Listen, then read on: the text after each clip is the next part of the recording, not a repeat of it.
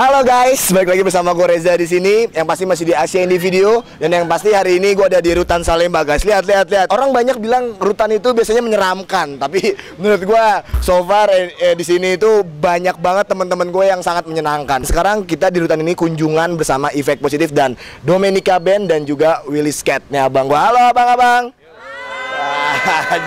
Kita bakal ngebahas, mungkin kita bakal tanya satu-satu ke mereka. Apa sih kesan-kesan mereka main di sini? Bang, bang, gimana bang?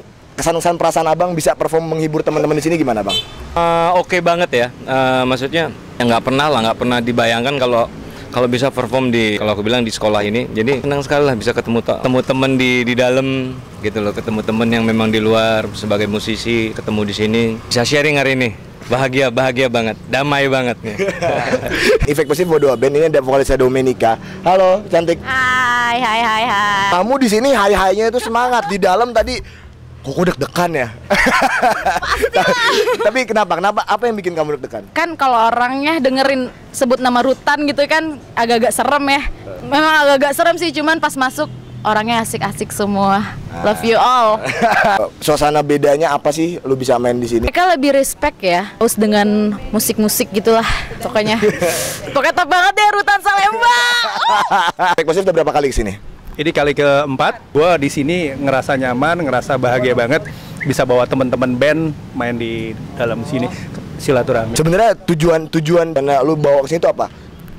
Ibadah menghibur eh, teman-teman yang di dalam itu enggak enggak Gas, gas, gas. yang paling penting ibadah. Benar-benar. Yang jelas kita bawa band yang main di sini itu sudah melalui proses yang benar-benar nggak sembarangan, nggak sembarangan, sangat nggak sembarangan.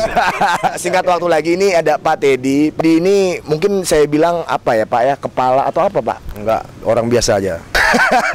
Suka merendah ya Mak. Staf keamanan. Kenapa bisa menggandeng efek positif Pak? Sebenarnya ini acara musik perdamaian. Kalau kata perdamaian itu kan damai di langit, damai di bumi itu ya. Jadi tujuannya memang buat damai. Artinya ketika kita main-main promo di dunia maya, ketemulah dengan efek positif. Oke. Kita coba-coba gandeng, ternyata Mas Ari respect. Saya juga respect sama Mas Ari karena kenapa?